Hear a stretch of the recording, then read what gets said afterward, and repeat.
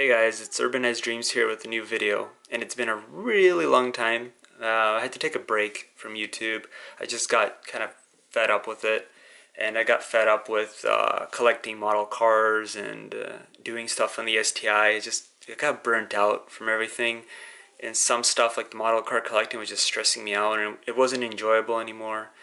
So uh, this video is going to be like an update video and also a video a little bit about, about here on the Tarmac Works 164 scale and just kind of going over my new interest and what I'm going to be doing for we'll see how long but first I want to just give an update on why I stopped collecting 118 resin scale models from brands like Ignition, Kyosho and Otto honestly it, had to do like my my cutoff point was with like when Ignition um, was doing the initial D. So like my last video I did for the model cars was the Ignition RX-7 from uh, with the figurine, and you know that thing cost me like seven hundred dollars Canadian to buy it from Ignition and all the shippings and customs, and they really pissed me off when they did that release. And usually when they did when they do like the web specials with the figurines they usually give you like a lot of breathing room. So like because you know they're expensive. So like they'll release it and then you know it's going to be not real. like and the next one won't be released for a while so people can kind of at least like figure out their finances or something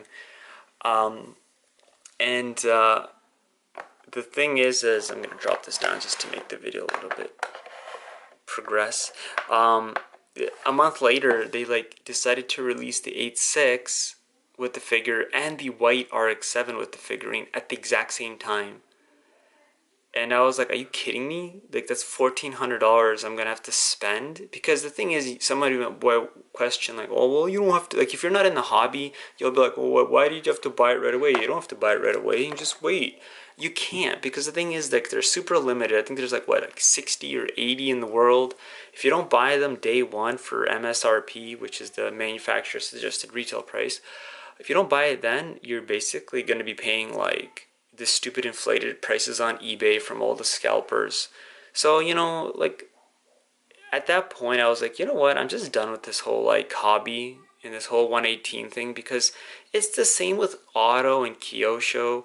Like it's cool that they're limited, but at the same time it's like you have to buy it once they get released. So even with Otto like it's cheaper, but it's like okay, it's maybe 150, 200 bucks with like taxes and you know shipping and all this like for Canada. And the thing is, is like okay, good. It's not seven hundred, so I can buy like three Ottos. But the thing, it's the same thing. Like if you don't buy it that month of the release, they get all sold out from all the hobby stores and stuff within, within like one two months. And then you go on eBay and you're like, oh wait, that same model now is selling for three hundred. So like, um, I was more focusing on ignition at one point, and then you know I got fed up, and then I thought maybe and, and I stopped making videos. But I was like, okay, maybe I should go back and maybe look into like Otto or Kyosho again. And then Kyosho Samurai is basically like stop releasing stuff. They release like models like once every six months. I, I don't know what's going on with them. And then Otto's still doing stuff. And I saw that they released my STI. And I, I kind of knew about it. It's the 2018. So the, their version is like the 2020. And I knew about it. And I was like, okay, that's kind of interesting.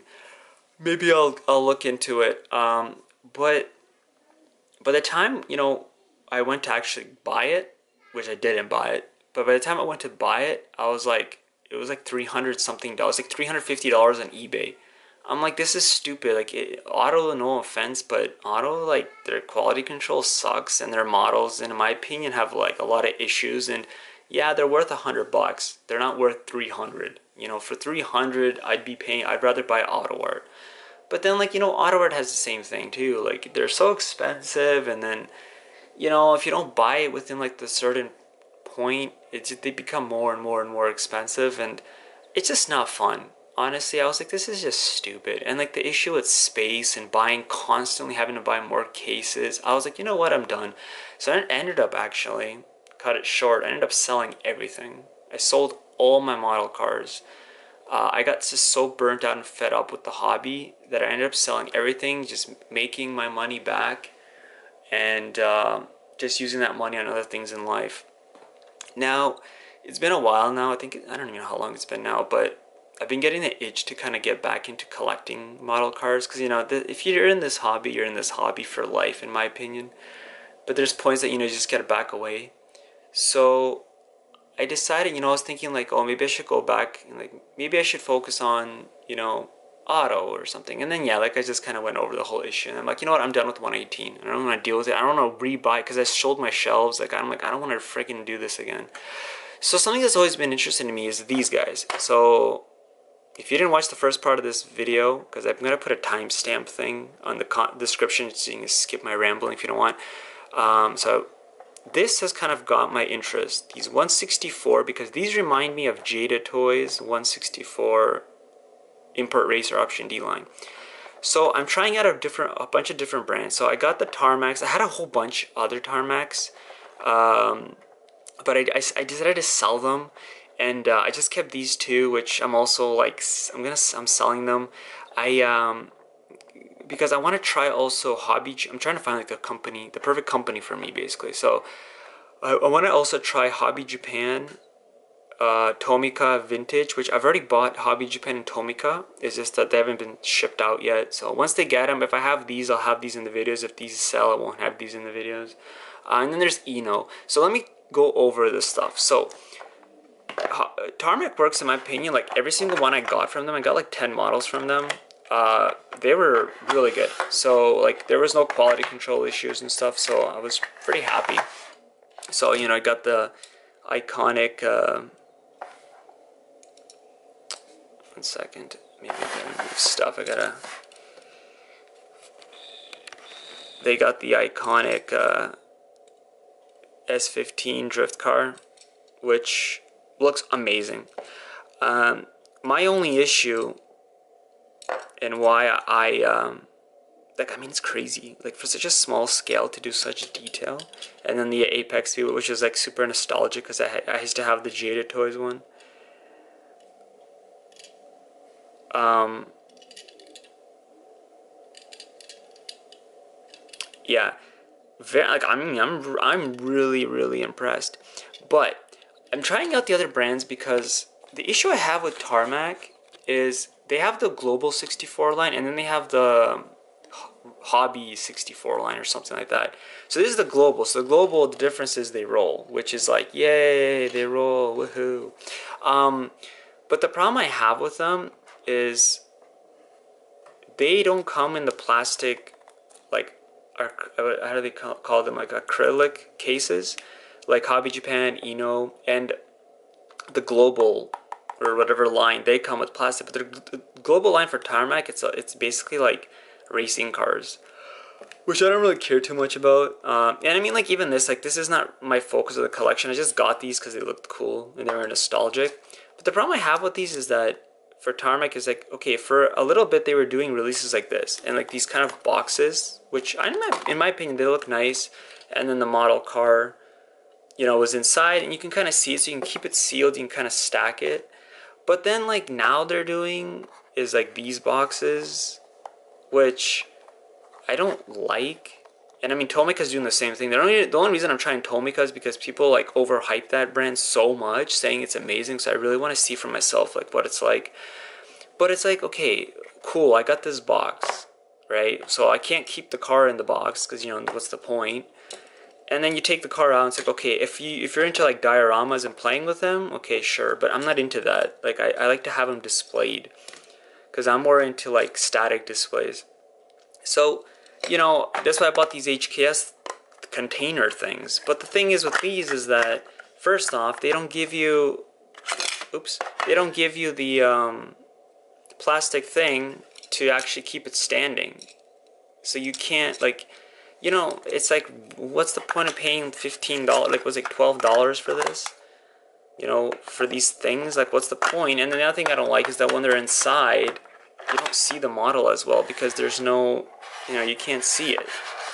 And I was kind of doing the numbers, and I was like, okay, if I'm gonna stick with Global or Tarmac Road 64, it's like I'm gonna have to buy these stupid things all the time, really, to have them displayed, or I have to buy other cases. And because of shipping nowadays with model cars and like all this crap being so expensive, I'm like, it's just too expensive. It's not it's not worth it in my opinion. Like yeah, they look cool, but as like backdrops and stuff, but it's not I'm not interested in that. And also I'm more interested in OEM spec cars now, not modified tuner ones cuz for the past like couple years and it's been a while, I've kind of preferred just original cars, but you know, eh, the problem with this, like, I have nowhere to display them. It's, and, and if I have them in these cases, they're flopping around everywhere. I mean, you can stack the cases on top of each other, but it just, I don't like that. So, um, and that's my negative with Tarmac. Other than that, like, I mean, Tarmac, I, I mean, like, wow. Like, they do a really good job. Quality control seems to be really, really good. Uh, but it's just not my thing. Now, what I, um, am looking to is now is hobby. So before I talk about hobby Japan and uh, Tomica, why I chose those and not Inno. Inno is looks beautiful. I love like their packaging. I love that they come in the plastic cases. The problem I have with Inno is again, it's not too focused on OEM cars. It's more focused on again uh, either tuner cars or um, what's it called? Uh, like again, race cars.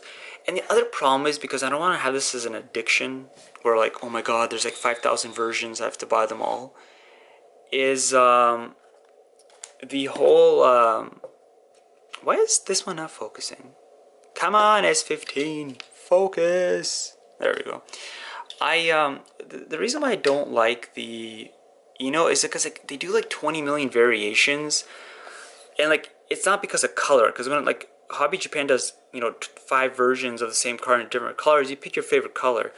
But with um, you know, it's like oh, this version has these rims, this version has this livery, this version, and it's like to me, what's that's gonna create is like this whole thing of like, oh my god, I gotta buy twenty versions of the same car because they all look cool because they do. It, it kind of you know really reminds me of Jada toys where they all look unique, they all have nice cases, um, but that's kind of my issues. Like they don't really focus on OEM. They don't focus on Subaru yet, but you know they're kind of lacking. They're more focused on Honda, which I love Honda. I'm a Honda fanboy, but you know it's not as much as OEM, and it's very focused on just the, the whole um, tuner kind of thing. So I want to just not really be into that anymore. Now, Hobby Japan and Tomica, why I chose those is because, and, and why I didn't choose Ignition, because Ignition has 164, but again, like just the whole like tuner crap, I'm just so over it. Um, they have the Hobby and Tomica, so I'm gonna try those. They have the plastic cases for uh, Hobby Japan. I like that it's like all OEM spec. I like the diversity of JDM cars. They have like my STI in there, so I like that.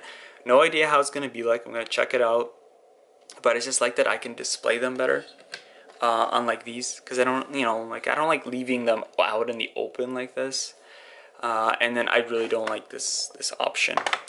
And um, the other thing is is um, with uh, Hobby Japan is like you know because there's so many of them so many releases it's not like I can just pick what color I like and move on. I don't have to like sit there and go through 20 hours of figuring out which livery I want and uh, Tomica, Tomica has the same issue as Tarmac, this. But like I said, people keep hyping Tomica so much that I really want to try Tomica vintage line. And I, I bought I bought the red Evo 4 and uh, the uh, WRX wagon in white to try. And the reason I got those two is because for Hobby Japan, I ended up getting the 22B STI and the Mitsubishi Makinen Evo in red. So it, will be a good comparison, comparing like the detail and seeing what I prefer.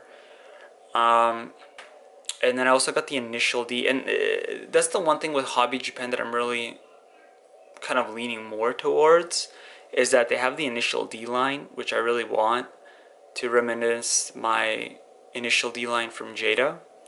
And I also really like um, they did like a Keiichi Tsuchiya NSX.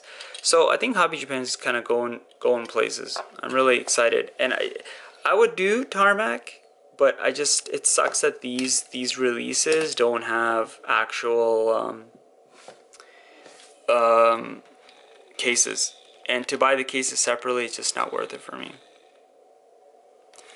And uh, I, I love the camera. I love this camera. It's just like, yeah, focus on the containers.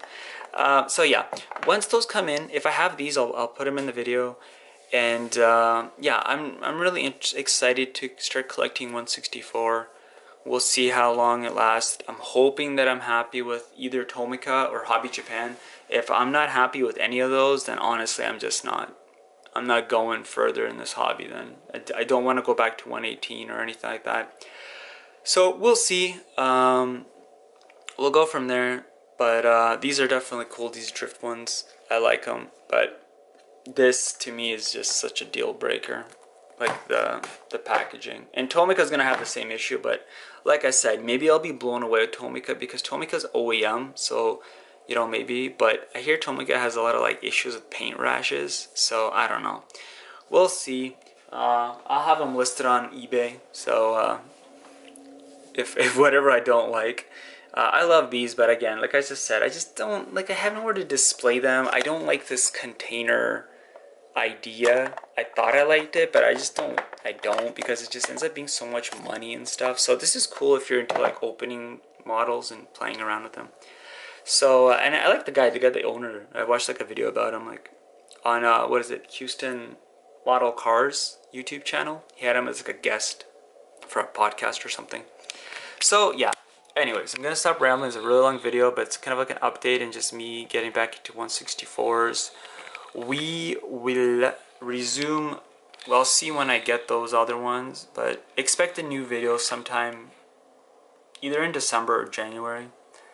And uh, yeah as for the STI I don't know if people follow both my STI and the model cars. Uh, I'm not really doing anything in the STI I'm just keeping it stock. Like whatever is done on it on the YouTube channel is kind of what it is and I just prefer cars being more original now. So yeah anyways that's it for this video and uh, peace out